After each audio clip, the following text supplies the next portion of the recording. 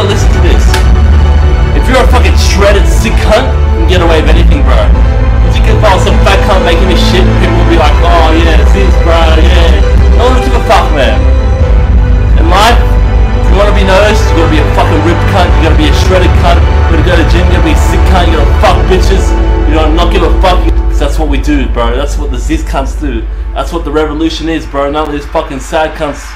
We're all gonna fucking make it, bro. That's it.